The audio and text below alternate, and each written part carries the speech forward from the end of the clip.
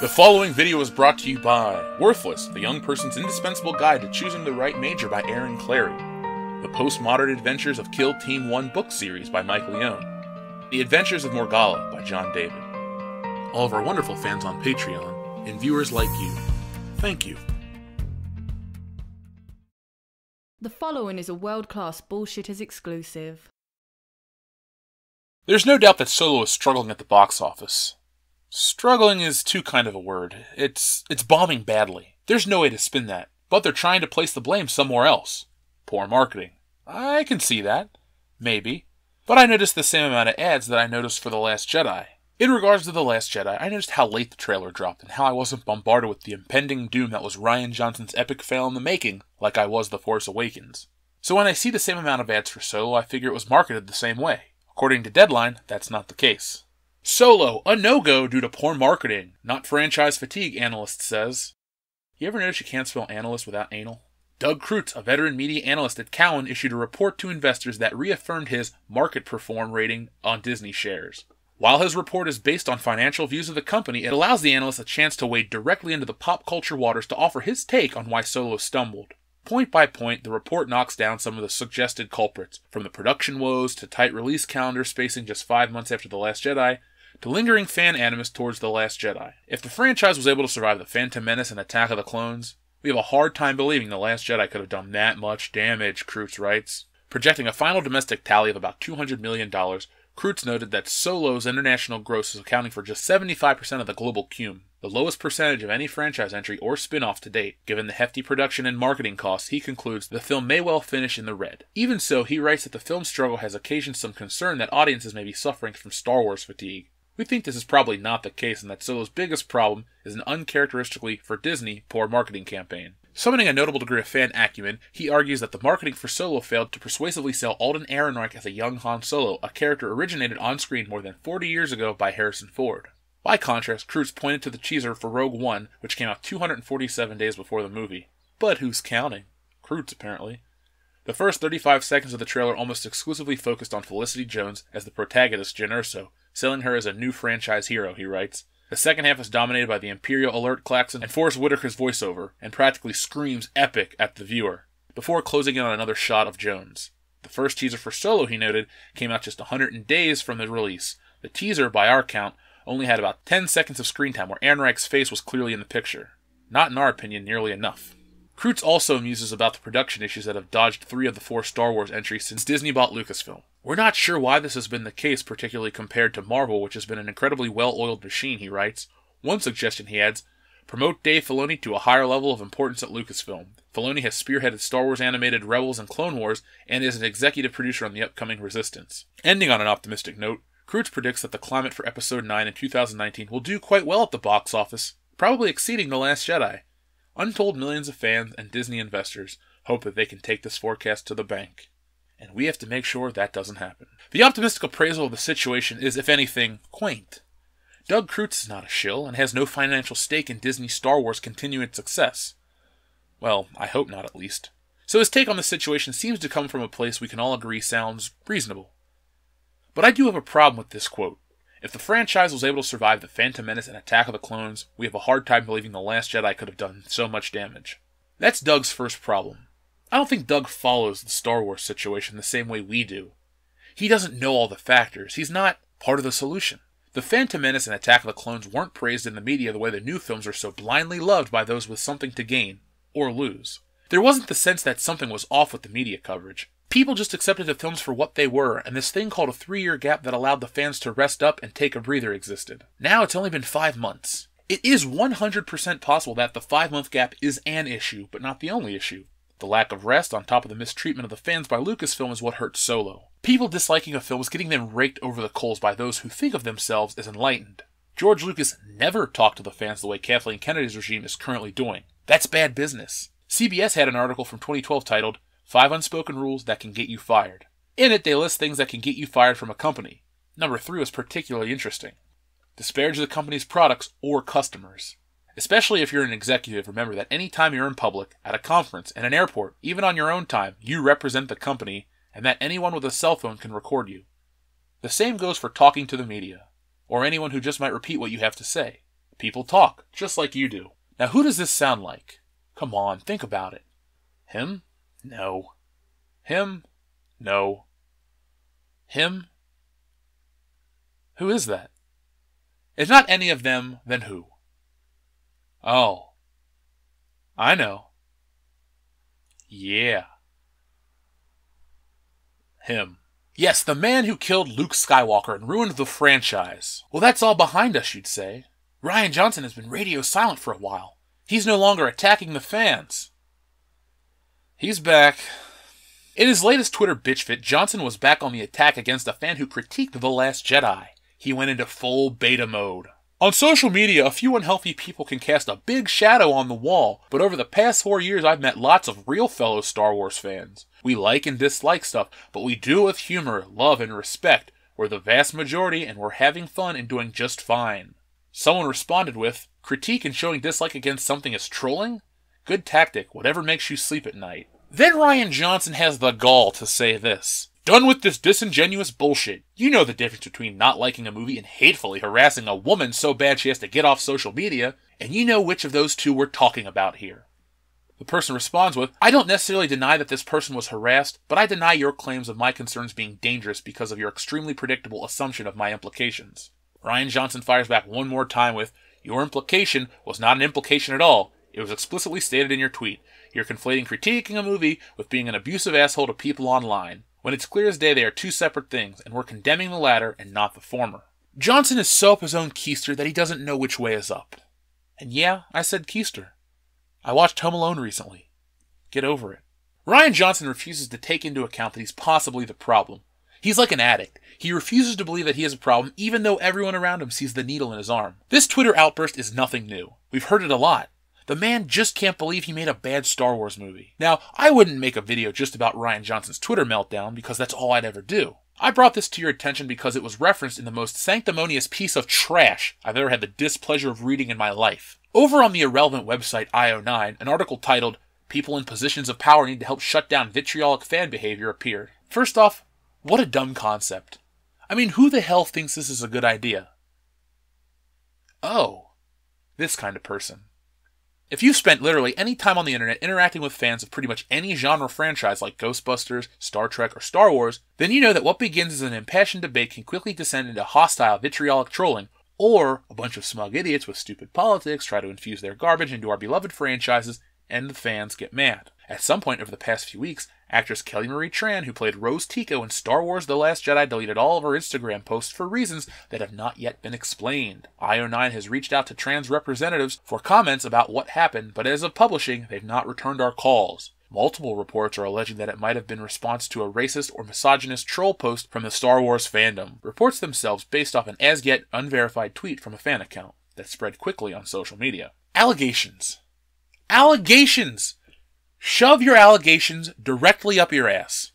First off, look at the source an as yet unverified tweet from a fan account. It doesn't get much more credible than that.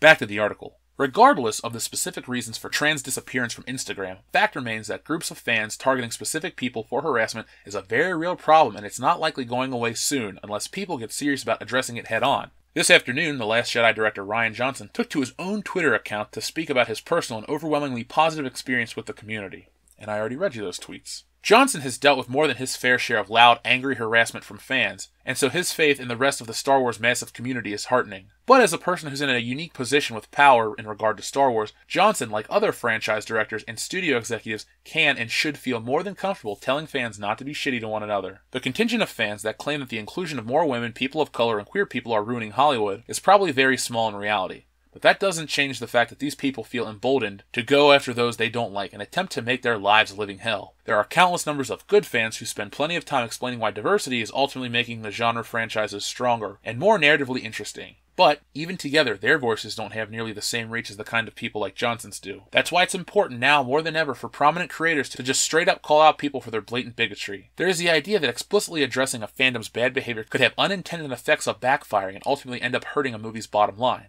but by ignoring it completely, studios or other entities send a message to the rest of the fandom that the abuse fans are suffering at the hand of their peers is not a concern. Yes, there are plenty of more Star Wars fans out there that identify with the Resistance, which you know is the kind of overall message of the franchise as opposed to the First Order. and they will continue to love and care about Star Wars for years to come. But there will always be fans who would rather act in bad faith and accept that Star Wars isn't only for them. It would be in Lucasfilm and Disney's best interest to make it crystal clear that they don't support or condone reprehensible behavior. Fans, do better.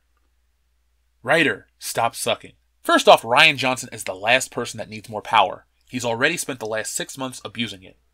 More is just a bad thing. The writer's entire article collapses in on itself with this one sentence here. There's the idea that explicitly addressing a fandom's bad behavior could have unintended effects of backfiring and ultimately ending up hurting the movie's bottom line. That's what's happening with Solo. Audiences don't care if Ron Howard directed it. All they know is that the guy who directed the bad Star Wars is an asshole, and they're not going. These people in power aren't the right people for the job. They have agendas and higher ups to answer to, so they can keep their positions of power. They're the puppets of someone else. They don't speak for themselves, and they shouldn't speak for the fans. Rian Johnson has gone on record saying he intentionally creates films that he wants 50% of the audience to hate. He's already antagonizing the fans from the get go. With an attitude like that, how is he qualified to speak on behalf of fandom? He's not. No one attached to these movies are.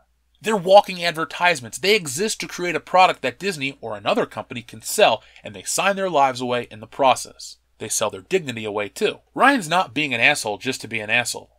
This time. No, Rian Johnson is lashing out because Kelly Marie Tran, aka Rose Tic Tac Tico, left Instagram, as stated in the article above. This was further reported on news.com out of Australia. The article shows the outrage of the fans, but then it does one notable thing it lies. The article ends with The news comes after Tran's Last Jedi co star Daisy Ridley, who plays Rey, last year revealed she had quit Instagram. Ridley said social media was highly unhealthy for people's mental health. I don't do social media anymore. I came off it last September and I will never go back, she told Radio Times. It's such a weird thing for young people to look at distorted images of things they should be. Now, nearly two years ago, The Independent put out an article covering the situation. It says Daisy Ridley surprised her devoted legion of over 2 million followers when she decided to delete her personal Instagram in August of this year. Jumping to conclusions about what prompted the hiatus, many assumed it had been triggered by online bullying. However, it turns out they were wrong. The 24 year old Star Wars actress has now explained she decided to take a break from social media because she could no longer bear the pressure of growing up in front of millions. The London born actress said she felt the need to deal with stuff personally and privately rather than in the public domain of Instagram. Oh, so it wasn't the Star Wars fans that drove Daisy Ridley off social media. It's pretty disingenuous to, uh, you know, throw this on the end of an article intended to paint the fans in a negative way and perpetuate lies. You wonder why there's a division between the fans and self appointed gatekeepers of social justice. Their bullshit tactics don't work on those with a brain and five minutes to do research. These people, and I'm using the term loosely here, are the reason for this bad movement in entertainment. They lie to prove their cause is big and that they think everyone else is wrong. Fuck those people. They're killing Star Wars and costing Disney something to the tune of $55 million in the process on Solo alone. I thought Disney was in the business of making money. I guess ideology trumps that. Their failure is a win for the fans, and people are rejoicing. Yet these neck dirt having mofos, and yeah, I said mofos, I was watching Austin Powers, fight me, are doubling down. No one's friend, John Campea, was spurging out on another live stream attempting to attack the fans. Again. I guess his attempt at playing both sides by calling for Kathleen Kennedy's resignation didn't sit well with anyone. It's embarrassing to have to talk about John Campea. The man is not well. He's mentally unstable. He's what you would call Fragile. It must be Italian. Well, I think that says fragile, honey. Oh, yeah. Whatever you want to say about him, he's desperately seeking to find his place in the changing world of reliable news, and for him, everything's coming up Milhouse. So this is the latest battle in the war between the fans and those in power over at Disney. And it seems like the tide is turning because what seemed like a nice victory for the failure of Solo is now turned into a bunch of shaming on behalf of Rian Johnson. And as I said earlier, who the hell is that guy to judge? That guy is a weird nihilist asshole with a perfectly round head, which has no bearing on his personality, but his personality is piss poor, and that's all that matters. You know, channels like this, Geeks and Gamers, and Ethan Van Sciver's Comic Artist Pro Secrets are definitely gaining a following because thousands, and I mean thousands, we're like combined, we're like 160 something thousand people are pissed off with this. That's not a small number. If you multiply that by the number of tickets each person would buy, that's a huge chunk to the box office. They need to stop acting like people aren't angry with the Star Wars situation. Because if everything was all sunshine and rainbows, we'd all be lining up to see Solo a Star Wars story. In the age of the internet, everyone has access to know when a film comes out. Was the film marketed poorly? Probably. The trailers weren't very good. I don't know if I would say that makes it marketed poorly, but whoever had creative control in the trailer department did a bad job. And you have to wonder, was this intentional? Is this part of Lucasfilm's plan? Kathleen Kennedy is very ideologically driven, not money driven. She only wants to talk about diversity and inclusion in the story group, and these people that make these stories aren't very good. There's a very big possibility that they could use Han Solo as the sacrificial lamb to say, hey, the old characters don't sell, people want the new stuff, and female led action franchises are the future. But they're not. You know, Ocean's 8 is very lucky because it's coming out, there's not a lot of competition, Avengers has blown its load, Deadpool has blown his load twice, and Star Wars, Han Solo just failed. He couldn't even get it up. There was no chance. So, I guarantee you right now, the media is going to use Ocean 8's opening to further the point that well, maybe it's time for more female led films and blah blah blah, and gender swapping's good and gender swapping's this. I point you in the direction of Ghostbusters two years ago. They tried this, they tried to attack the fans, Paul Feig fucking failed, Amy Pascal fucking failed, the movie fucking failed. It's not good. It's a terrible film. I had to watch it for Patreon. It's shit. People weren't mad that they made Ghostbusters with women as much as they were mad that, one, they're remaking Ghostbusters, I mean, let's not forget the fact that people are fed up with remakes in general. How many fucking times do we need to see the same story? We don't. Ghostbusters is one of those hallmarks in cinema that was just perfect the way it was. It still is relevant. People still know who you're going to call when you ask the question. Melissa McCarthy, Leslie Jones, and the other two, nobody gives a shit about them. No one gave a shit about them. You know, I always talk about merchandise on this channel and how it's an indicator of the health of a brand. Well, Ghostbusters merchandise was on clearance before the movie came out. Stores wanted to get rid of that shit. My dying Toys R Us had all the Ghostbusters available, the female ones, that is, because over on the other shelf there were the male Ghostbusters and they were picked through. You had a couple Rick Moranis's and you had a few Sigourney Weavers left. But that failed. That failed hard. Ghostbusters Answer the Call, which it's now being referred to as, is a $5 bargain hit at your local Walmart. And let me rephrase that. It's not even a hit. It's a $5 bargain embarrassment. People don't want it for $5. People don't want it. It's the type of movie when you're flipping through your DVR, oh, Ghostbusters is on at 8. And then you see it says 2016 and you watch anything else because fuck that movie. And that's where we are with Star Wars. Fuck these movies. They're made poorly. Maybe there's some artistry in there. Maybe there's not. Did The Last Jedi look nice? At times. Was Canto Bight overblown? Very much so. Was it relevant? No. Was Rose Tico lame? Intentionally lame. Was Finn stupid? Intentionally stupid. The thing is, all these characters were made to look a certain way, and the old characters were made to be like brushed aside and hey, you suck and you're old and nobody wants you anymore. There's even that stupid line, let the past die, kill it if you have to. Well, guess what?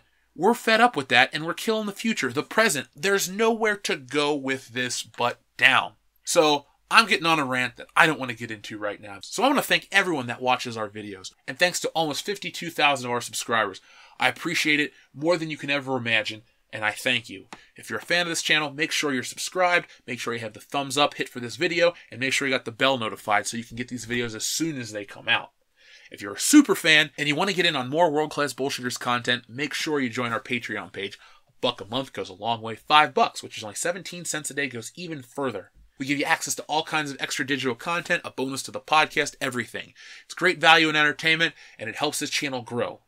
Next year, we're going to be at Star Wars Celebration, and that's going to be a good time, hopefully. But it's a chance to meet all of you people, and we hope that as many of you as possible come out. I'll be back tonight with World Class Bullshitters, the epitome of pop culture, where we have a full show to discuss every facet of entertainment. And, uh, you don't want to miss out. So thanks again, and I'll catch you next time.